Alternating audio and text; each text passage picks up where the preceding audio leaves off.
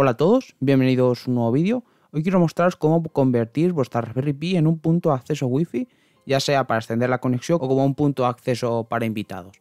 Lo primero que vamos a necesitar es tener instalado Raspberry Pi OS Lite. No nos sirve la versión de escritorio, tiene que ser la Lite, es uno de los requisitos.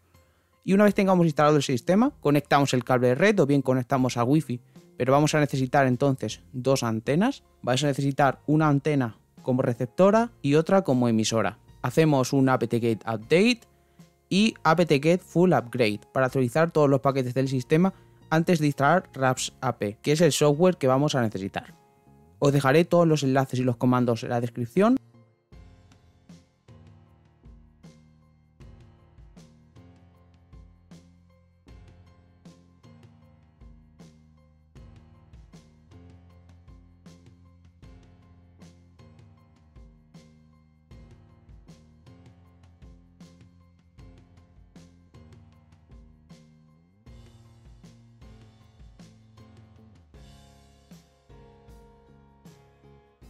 Vamos a instalar un script que va a automatizar la instalación, solo tenemos que darle a todo yes, podéis dar algún no si no queréis instalar algunos servicios concretos, pero yo para mostraros todas las características lo voy a instalar todo.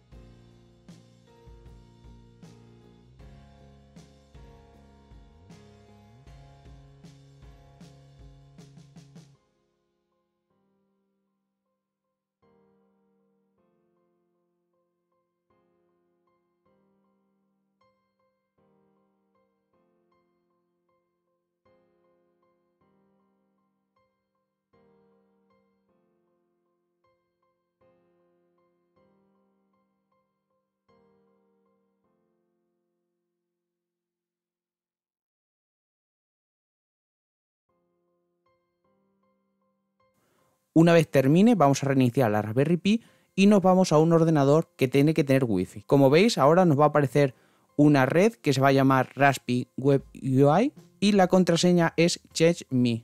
Esto todo está en la web de RASAP y también nos indican que la dirección IP donde está la web de gestión de nuestro punto de acceso es la 10.3.141.1 con el usuario admin y la contraseña secret.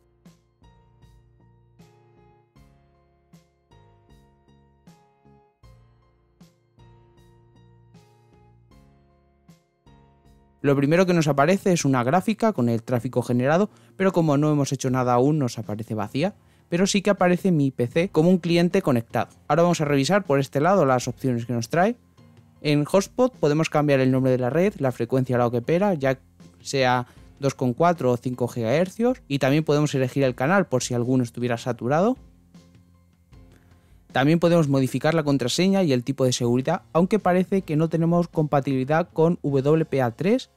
También podemos modificar la potencia de la señal Wi-Fi o el número máximo de personas que pueden conectarse al punto de acceso.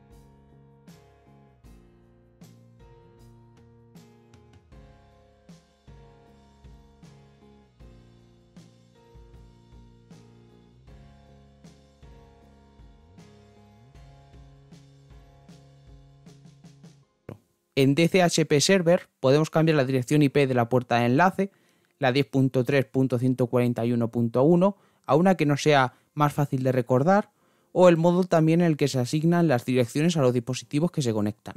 Una opción muy interesante que nos trae es poder bloquear anuncios como si fuera P-Hole de todas las web a las que accedemos desde el punto de acceso. Esto está bastante interesante si vais a utilizarla como vuestro punto de acceso principal para red doméstica y queréis bloquear todos los anuncios que os aparezcan en los navegadores de todos los dispositivos.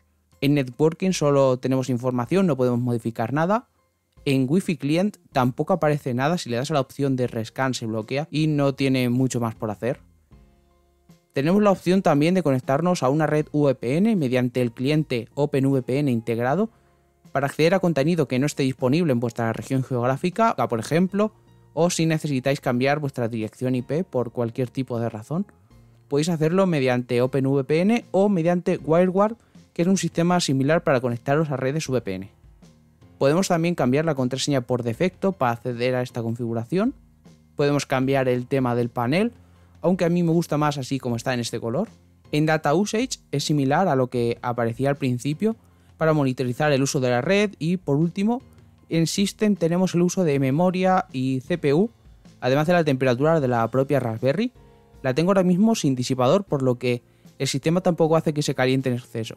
Voy ahora a lanzar un test de velocidad y como veis, por cable me saca 200 megas y por wifi 40.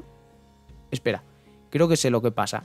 Estamos conectados a 2.4 GHz, voy a ponerlo a 5 y voy a ver qué tal.